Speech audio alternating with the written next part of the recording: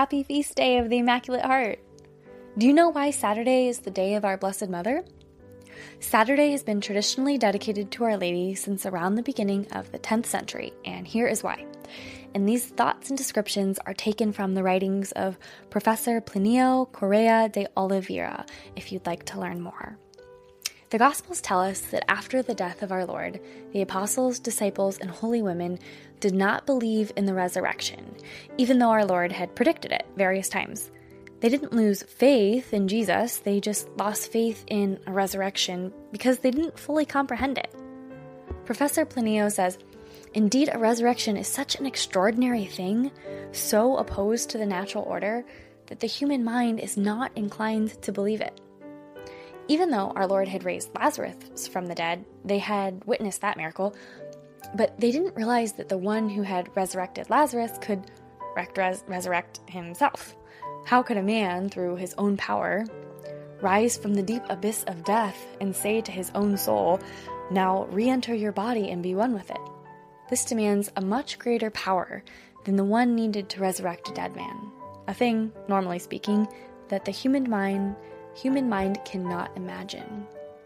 We can understand then how those who surround Our Lady at the foot of the cross, St. John, the holy women, and a few others, such as Nicodemus, would also accompany her to her house in that hour of supreme sorrow.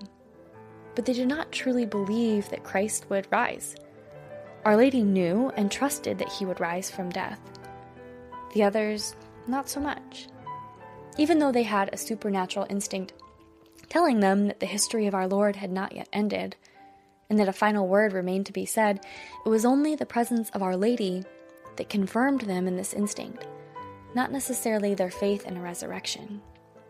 Without this instinct and without Our Lady, they most likely would have dispersed completely. From the hour that our Lord died on the cross on Good Friday until the Sunday of the resurrection, only Our Lady believed in his divinity, and therefore only she had perfect faith. For as St. Paul says, without the resurrection, our faith would be in vain. On that Saturday, Therefore, on the whole earth, only she personified the entire Catholic Church. Only she had the full faith.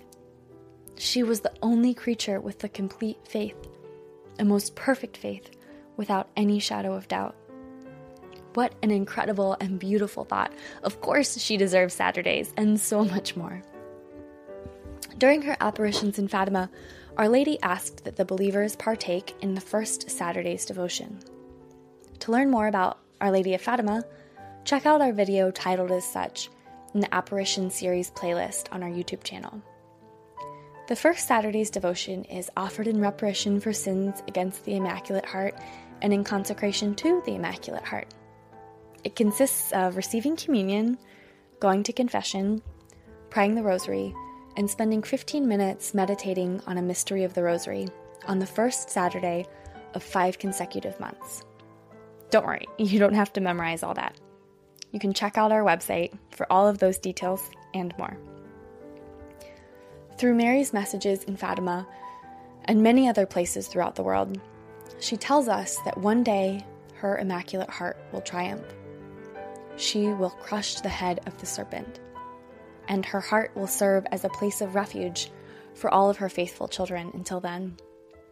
Therefore, she tells us that consecrating ourselves and our families to her Immaculate Heart is one of the most powerful and important things we can do during these times.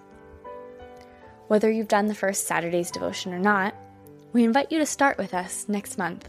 And today, we hope you'll join us in praying a prayer of consecration to the Immaculate Heart of our Blessed Mother. Living a life consecrated to the Immaculate Heart means becoming an apostle of Mary, striving to imitate her virtues, and placing in her hands the flowers of little sacrifices of reparation for the salvation of souls, so that we might strengthen her hand against the attacks of the evil one and hasten the day of the triumph of her Immaculate Heart. To everyone who makes that consecration and sincerely tries to live it, the words of Our Lady to the child Lucia at Fatima would also apply. I will never leave you. My Immaculate Heart will be your refuge and the way that will lead you to God. For this prayer that we're about to pray and more information about consecrating yourself to the Immaculate Heart, please visit our website and click on the section titled The Pantry. Now, let us bow our heads and pray. In the name of the Father, and of the Son, and of the Holy Spirit. Amen. O Virgin Mary, most powerful Mother of mercy, Queen of heaven and earth, in accordance with your wish made known at Fatima, I consecrate myself today to your Immaculate Heart. To you I entrust all that I have, all that I am. Reign over me, dearest Mother that I may be yours in prosperity, in adversity, in joy, and in sorrow, in health and in sickness, in life and in death. I, a faithless sinner, renew and ratify today in thy heart, O Immaculate Mother, the vows of my baptism. I renounce forever Satan, his pomps and his works, and I give myself entirely to Jesus Christ the incarnate wisdom, to carry my cross after him all the days of my life, and to be more faithful to him than I have ever been before. Queen of the Most Holy Rosary, in the presence of all the heavenly court, I choose thee this day for my mother. I deliver and consecrate to thee and to thy immaculate heart, as thy child and slave of love, my body and soul, my goods, both interior and exterior, and even the value of all my good actions, past, present, and future, leaving to thee the entire and full right of disposing of me and all that belongs to me, without exception, according to thy good pleasure, for the greater glory of God in time and in eternity. Amen. In the name of the Father, and of the Son, and of the Holy Spirit. Amen. Lauren, you always do such a beautiful job of leading us in prayer, and thank you specifically for today, the leading us in the consecration to the Immaculate Heart of Mary. Such a beautiful opportunity for us, especially in our Saturday devotions, to be able to highlight different aspects of the gift of the Blessed Mother to all of us. Brothers and sisters, don't forget to join us tomorrow for Breaking Open the Word. And in the meantime, take good care of yourself and one another, and we'll see you tomorrow. God bless.